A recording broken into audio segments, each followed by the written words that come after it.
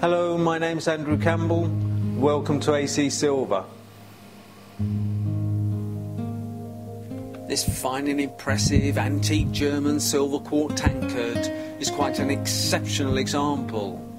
It has a plain, tapering, cylindrical form onto a circular shaped dome foot. The piece is embellished with fine and impressive embossed decoration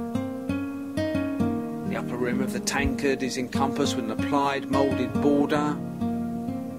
The tankard retains the original dome cover, surmounted with the original and impressive embossed finial, realistically modelled in the form of a berry.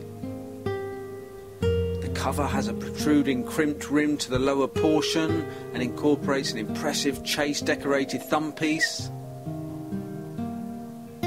is fitted with a fine and impressive scrolling handle. The dome foot is encircled with further embossed decoration. All the decoration is very sharp. Full hallmarks struck to the underside are very clear. At a weight of 21.8 troy ounces, the piece is an excellent gauge of silver.